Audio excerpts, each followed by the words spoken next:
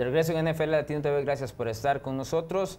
En esta zona roja de esta semana traída por el Portón Rojo tenemos ese posible, la posibilidad de entre Odell Beckham Jr. y los Patriots de reunirse, también el favoritismo de los Rams y por supuesto los cuatro mariscales de campo que podrían ser elegidos en primera ronda en el draft 2018.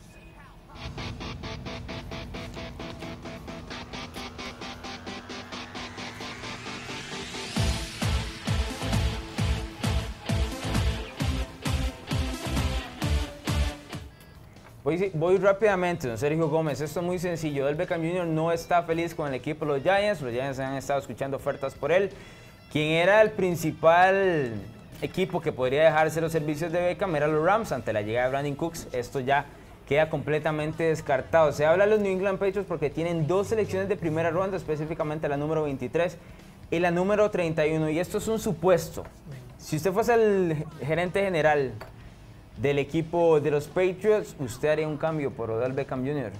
en este momento no lo haría. Realmente aprovecharía muy bien las cinco selecciones que tengo en las, tres primeras rondas, especialmente esas dos primeras, eh, bueno, eh, o, esas dos en la primera ronda, porque creo que el equipo tiene demasiados huecos en defensa, la verdad me preocupa mucho este equipo porque a pesar de, que también se le fue a Mendola, se le fue Cooks, se le fue Nate Solder, creo que, o sea, yo todavía sigo creyendo que Julian Edelman y Rob Gronkowski, si se mantienen sanos, pueden cumplir el trabajo bien, pero sí, la, la defensa de los Patriotas en este momento es necesidad primordial porque la verdad los huecos que han dejado y más bien el nivel de defensa que han demostrado es bastante preocupante para un equipo como la Inglaterra. Para mí eso no tiene ni pies ni cabeza dentro del, del tema de los New England Patriots porque no es como se mueve el equipo de los Patriots. Sin embargo es contenido porque se han venido dando rumores de que los Patriots están haciendo un arsenal precisamente porque tienen cuatro selecciones muy importantes dentro de las primeras dos rondas y que podrían tentar eventualmente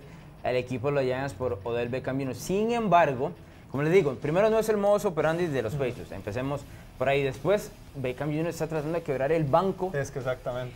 Ah, una vez sea gente libre el año que sigue y el equipo en England no, paga. Aquí el detalle es si, si, si los Patriots cambian por Beckham Jr., para rentarlo por un año. Sin embargo, estaría dando muchísimo por un jugador solo por una temporada. Me parece que no va a suceder, no está ni cerca de suceder, pero bueno, teníamos que tocarlo acá en NFL Latino. Te hablábamos del equipo de los Rams en los bloques anteriores, don Sergio Gómez, específicamente sus necesidades para el draft, pero es conocido que llegaron muchísimos jugadores tanto el costado ofensivo como el costado defensivo dentro de la agencia libre. Marcus Peters, aquí Talib en Doma Kansu dentro del lado defensivo. Randy Cooks el último en llegar por parte de los New England Patriots. Este es un super equipo, ¿verdad? Lleno de estrellas. A partir de ahora son los Rams los favoritos, no dentro de la NFC Oeste, sino más bien dentro de toda la conferencia nacional.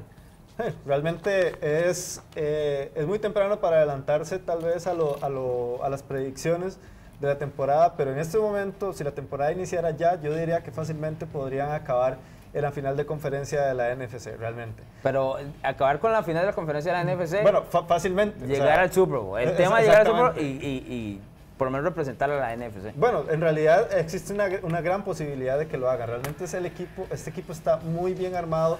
Desde el año pasado realmente lo que hizo, lo que hizo Sean McVay con este equipo fue eh, realmente nadie se lo esperaba. Armó, armó un equipo que, que, la verdad venía muy desgastado con el, con el anterior coach.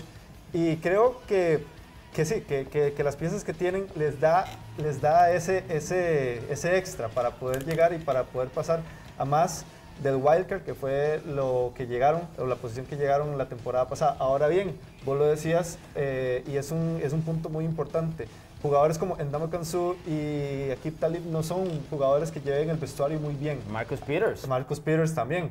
Entonces, vamos a ver, porque la química de este equipo tal vez no puede ser muy buena y eso también es un factor determinante para... para Yo siento que a Sean no, le, no le interesa porque no tiene la experiencia y no ha vivido en los camerinos algo así.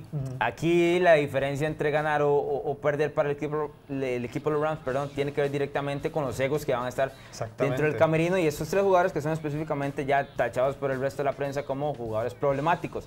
Sin embargo, el talento está, ¿verdad?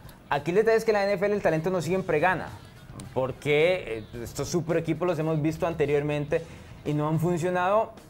Yo sí pienso que son favoritos sin embargo, no estoy dispuesto todavía a ponerlos en el Super Bowl precisamente por ese detalle de que pues en el camerino cualquier cosa puede suceder.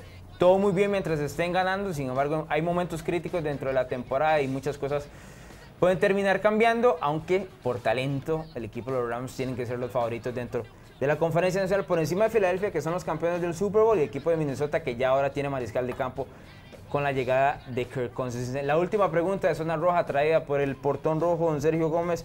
Tenemos cuatro mariscales de campo, cuatro nombres importantes para este draft 2018. Joe Rosen, Joe Allen, Baker Mayfield y por supuesto, se me escapa uno, y Sam, Darnold es el otro serán elegidos estos cuatro, los cuatro, ¿ah? no tres ni uno, dos de dos, los cuatro en los primeros 10 picks o las primeras 10 selecciones del draft 2018. Sí, y me atrevería a decir que más bien los cuatro van a ser elegidos en, las primeras, en, los, primeros cinco picks de este draft, porque como lo venía diciendo en el bloque pasado, son necesidades, los, los, cuatro primeros equipos de los, de los cinco primeros picks tienen necesidades muy específicas de corebacks. Ahora bien, realmente me gusta como lo que puede hacer el front office de Denver. ¿Por qué?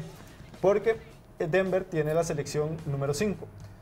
Eso significa que vas a tener al último, o más bien al coreback que te sobre de los cuatro que van a estar. Y tenés otra necesidad que es el ala defensiva y que, hay, y que ahí también está uno de los principales prospectos de este draft como los Bradley Chop y ese yo creo que sí lo vas a tener disponible entonces vamos a ver qué es lo que pasa con John Elway y su front office porque ya tenés a Case Keenum. Yo sé que Case Keenum no es el, el, eh, prospecto a jugador de franquicia que vos querés, sin embargo, es un apagafuegos. Entonces, vamos a ver qué pasa. Sí, ahí hay que, hay que mencionar también que el equipo de Búfalo se puede terminar colando si hace un cambio, que es uno de los equipos que tiene necesidad y está buscando la manera de llegar precisamente a los primeros 10 picks y mucho más antes que eso. Ojalá para ellos un top 5 para dejarse uno de estos mariscales de campo. Nos vamos, Sergio Gómez. Muchísimas gracias, Alonso, y a todos que nos ven por TV Más. Un gusto estar aquí nuevamente. Y cada vez falta menos para el draft. Así es, 26 de abril. Recuerden nuestras redes sociales, ahí están las últimas noticias en NFL Latino, Facebook y Twitter. Por supuesto, un agradecimiento a don José Muñoz, que siempre está en control y en producción. Continúen, señores, en la programación de TV Más.